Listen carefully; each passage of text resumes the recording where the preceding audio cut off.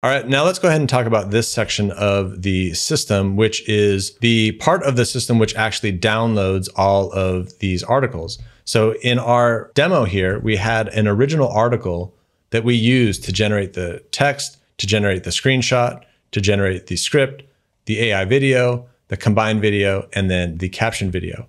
So then the question becomes, okay, how do we get all of these blog URLs on a daily basis so that we can generate these videos right when they come out. Because if you're doing breaking news, you want to be able to scan for these articles on a regular basis, automatically generate all these videos, and then publish them. So the way this automation works here is that we have this schedule trigger, and you can really schedule this to run as often as you want. And then it is going over to Airtable, and I have another table here where you can add in additional feeds. So this table here is set up so that you can add in all of the different RSS feeds for all of the different sources that you want to monitor. So for example, I have the RSS feed for N8N and for Anthropic and also for OpenAI. So then what happens here is that when you run this trigger, it will load up all of those rows and get those specific RSS feeds. So if we open up this module here, we can see that we have two items here and we have two different RSS feeds. Currently, I'm filtering it by which feeds are active. And then from here, we take these RSS feeds and then we use this module here to get the articles from those RSS feeds. Now there is a module here that is simply updating the row just to keep track of the last time we ran this automation so that we only pull in the new articles. And then in this column here, we're keeping track of which feeds that are actually active. That's why we only had two feeds here. If we were to turn this to active as well and come back to our automation, we're going to see that we have three items.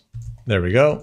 And then we can use the RSS module in N8N to go ahead and download those articles. We'll go ahead and execute the step. And then you can see here that we have 65 different articles that it pulled back. And then in this module here, we're removing all of the old links. So again, we're using that last runtime that we have here in the database to make sure that we don't keep pulling back the same article and running that over and over and continually making these same videos over and over. So we filter out only what's new. Looks like we have four new articles. So if I come back to Airtable and we look at our news, we've got all the way up to 21. So I'll come back here and we'll run this.